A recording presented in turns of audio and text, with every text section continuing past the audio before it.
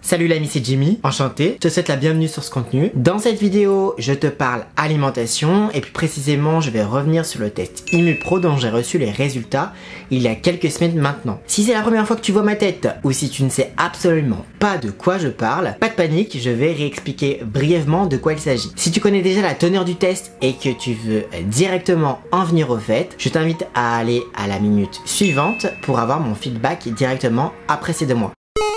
Alors fin décembre, j'ai réalisé un test qui s'appelle ImuPro. Ce test donne une photographie de tes réponses immunitaires euh, à l'encontre de certains aliments. Ce qui est analysé, c'est le taux d'un certain type d'anticorps appelé IgG et qui, selon leur niveau, caractériserait des allergies dites retardées de type 3. Pour exemple, dans mon cas, parmi les 270 aliments qui ont été passés au crible, le gluten, le maïs ou la noix de coco avaient un taux anormalement élevé d'IgG. Ces allergies euh, retardées de type 3 ne sont pas à confondre avec les allergies euh, de type 1, qui sont des allergies avec des réactions immédiates, fortes et qui nécessitent des soins médicaux rapidement. Ce taux anormalement élevé d'IgG pourrait induire une réponse inflammatoire de ton organisme et induire des effets symptomatiques retardés à pouvoir aller de euh, quelques heures à plusieurs jours après l'ingestion de l'aliment. Migraine, surpoids ou problème de transit pourraient être liés euh, ce taux anormalement élevé d'IgG. Il y aurait en quelque sorte une mauvaise tolérance de l'aliment dans ton organisme. J'ai eu plusieurs questions suite à la première vidéo, soit dans l'espace commentaire, soit via Instagram en message privé, et ça montre quand même assez bien qu'on est tous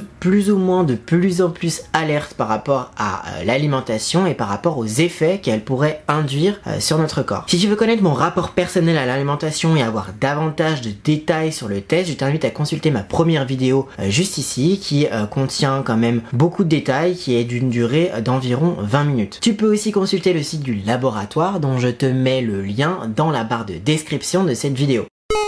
Alors la première phase requise après la réception des résultats, c'est la phase d'exclusion. On te demande entre 5 et 8 semaines euh, d'exclure les aliments qui ont été identifiés avec un taux anormalement élevé ou un taux très anormalement élevé. On dit que ce sont les aliments euh, déclencheurs. Dans mon cas, il s'agissait de 12 aliments dont euh, le gluten, l'avoine, le maïs, la noix de coco, la levure, l'orge, l'épeautre, etc. Alors comment ça s'est passé pour moi? Je n'ai pas commencé immédiatement le régime d'exclusion après la réception des résultats. J'ai attendu un tout petit peu, déjà parce que j'ai pris le temps de consulter l'ensemble des documents qui m'ont été envoyés avec euh, les résultats d'analyse et j'ai pris le temps euh, d'identifier ce qui dans mon alimentation actuelle allait être modifié et les aliments que j'allais devoir dans l'immédiat. J'ai ouvert mes placards et j'ai regardé ce que j'avais à retirer. Dans mon cas, ça a été les flocons d'avoine, ça a été également euh, le miel, mais aussi euh, de la noix de coco râpée ou encore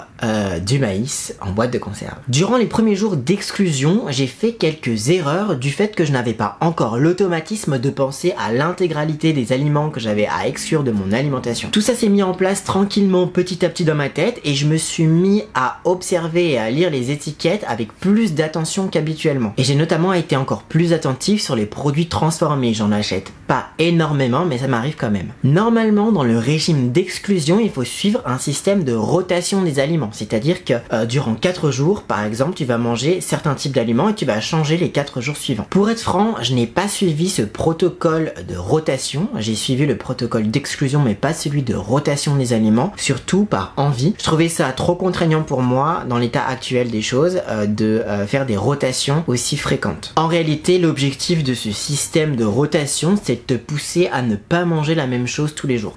En revanche, d'exclure certains aliments euh, de mon alimentation, ça m'a poussé à trouver d'autres alternatives. J'ai notamment arrêté euh, réellement le gluten, enfin J'y reviens euh, juste après. J'ai retiré en tout cas les céréales euh, sous forme brute que je euh, j'ingérais encore contenant du gluten et j'ai trouvé d'autres alternatives. Ça m'a permis de me rendre curieux. J'ai notamment découvert les flocons de millet, les flocons de riz, les flocons de sarrasin ou encore les flocons de quinoa. En revanche, je n'ai pas acheté des produits qui étaient complètement garantis sans gluten. Effectivement, il peut y avoir des traces de gluten que tu retrouves au même titre que d'autres choses, hein, que tu retrouves dans les aliments que tu tu et il faut vraiment qu'il y ait la mention garantie sans gluten pour être sûr qu'il n'y a pas de traces de gluten. Alors je ne sais pas combien peuvent être impactantes les traces de gluten euh, dans le régime d'exclusion euh, si le laboratoire, et je sais que le laboratoire passera par là, si l'équipe du laboratoire peut nous euh, donner des indications là-dessus pour moi mais également pour vous qui s'intéressez à ce sujet, de nous indiquer si les traces de gluten ou d'autres aliments à exclure peuvent être impactants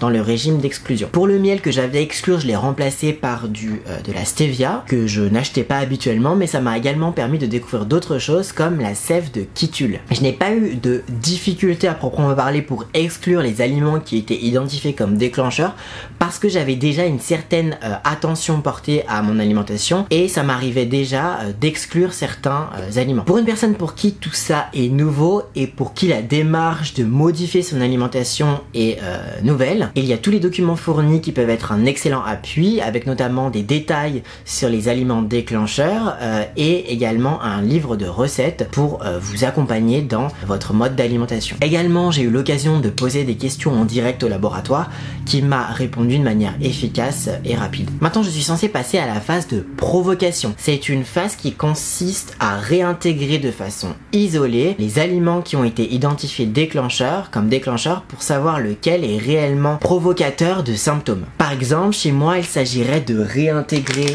euh, les flocons d'avoine seuls euh, et de voir si effectivement j'ai des désagréments qui sont causés par l'ingestion de, l'avoine et ensuite euh, de le retirer et d'intégrer comme ça petit à petit euh, de façon isolée chacun des aliments identifiés avec un taux anormalement élevé d'IgG. Alors j'ai dit censé commencer la phase de provocation parce que j'ai un transit qui est assez déréglé en ce moment. Et j'ai besoin que ça se stabilise avant de passer à la phase euh, de provocation. Sinon ça pourrait simplement fausser les données. Sur ce point et au-delà de mon cas personnel et de l'ensemble de ces variables, il faut que tu saches que ton, euh, tes intestins sont composés d'une vraie population à part entière. C'est la population du microbiote, c'est-à-dire l'ensemble des bactéries euh, qui euh, ont investi ton système digestif. Et lorsque tu as un type d'alimentation, le microbiote s'organise en fonction de cette alimentation. Et si tu modifies euh, profondément ton alimentation, le microbiote se dérègle et tu peux connaître des désagréments de type digestif jusqu'à stabilisation. Alors je ne sais pas si ça t'arrive, mais moi j'ai souvent un fort dérèglement sur l'ensemble de mon corps aux intersaisons. Je perds déjà mes cheveux en temps mais aux intersaisons, je les, paie, euh, je les perds encore plus et j'ai souvent un transit déréglé à ce moment-là. Il faut également savoir que je suis suivi pour une pathologie intestinale particulière et que fin février, après environ un mois du régime d'exclusion, j'ai fait une analyse de sel qui mesure le taux d'inflammation euh, du système digestif. J'étais à 60 et il s'avère que le taux était inférieur à une précédente euh, analyse de sel, mais je ne peux absolument pas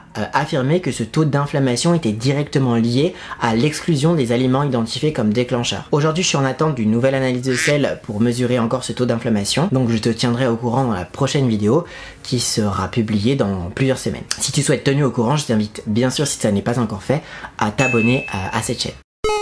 Voici pour le point de suivi du Testime Pro après ces deux mois. Cette vidéo euh, touche à sa fin. Il va être temps de nous dire au revoir. Je sais, ça te brise le cœur. Je te donne rendez-vous dans quelques semaines pour la dernière vidéo sur le sujet. Mais avant de partir, je t'invite à donner vie à ce contenu et laisser ta trace dans l'espace commentaire de cette vidéo. Tu peux également me poser des questions. Si je n'arrive pas à y répondre, euh, le laboratoire se fera certainement un plaisir euh, d'y répondre puisque j'ai vu qu'il l'avait fait pour la précédente vidéo. Pour visiter le site du laboratoire, c'est le sujet de la tolérance alimentaire t'intéresse ou si tu veux en savoir plus sur le test, comme je te le disais, tu trouveras le lien d'accès euh, dans la barre de description de cette vidéo. Je te remercie d'avoir regardé ce contenu jusqu'au bout, je te dis à une prochaine et en attendant, n'oublie pas que le monde appartient à ceux qui s'éveillent tôt. Salut